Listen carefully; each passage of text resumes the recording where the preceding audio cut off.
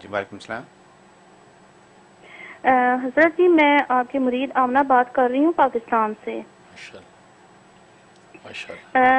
हज़रत जी मेरे यू, दो यूट्यूब चैनल हैं एक व्लॉगिंग का है और एक एजुकेशन से मुतलिक है। मैं बगैर सामने आए मतलब दोनों चैनल चला रही हूँ। मेरे हाथ नज़र नहीं आते मतलब ग्लव्स पहन कर करती हूँ। तो क्या ये जायज़ है? क्योंकि बाज लोग कहते हैं कि आवाज़ का भी पर्दा है। और दूसरा ये कि इन चैनल की तरक्की के लिए कोई वजीफा बता दें। ठीक शुक्रिया शुक्रिया।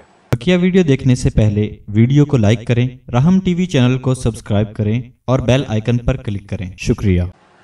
माशाल्लाह माशाल्लाह आमना जो है आप जो है पाकिस्तान से कॉल कर रही हैं यूट्यूब चैनल आप चला रही हैं लेकिन जैसे कि आप बता रही हैं कि आप जो पूरा पर्दा करके सिर्फ़ आँखें नज़र आती हैं बाकी पूरा निकाब वगैरह करके आप जो एजुकेशनल चैनल है गालबन वो चला रही हैं और दूसरा एक चैनल है, वो दो चैनल चला रही हैं।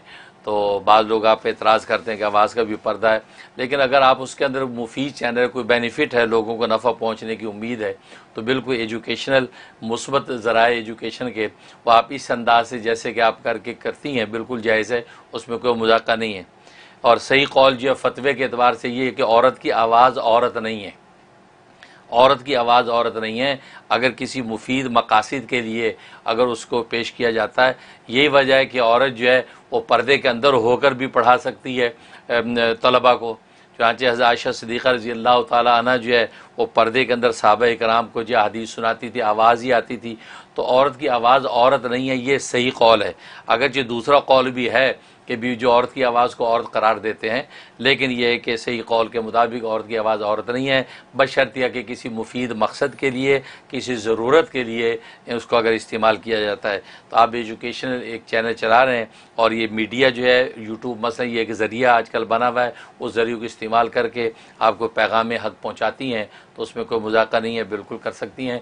अल्लाह ताला बरकत है बाकी यूट्यूब चैनल आपके जो है, वो तरक्की करें उसके लिए दुआ भी करता हूँ। आप भी सेवेंटी वन टाइम सो कुरेश पढ़ा करें।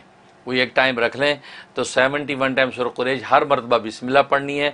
अव्वल, आखिर ग्यारह मरतबा दुरुशीफ ये पढ़ के आप जो है तामीर तरक्की की दुआ करें और ये सोचें कि जो है वो मुफीद चीज़ें उम्मत मुस्लिमा को, इंसानियत को पहुँचे मेरी तरफ़ से। कोई ऐसी चीज़ जो मेरे लिए शर बन जाए, मेरे लिए जो है कल को रोज़ क़्यामत में से बोझ बन जाए, या अल्लाह ऐसी चीज़ से मैं पनाह मांगती हूँ।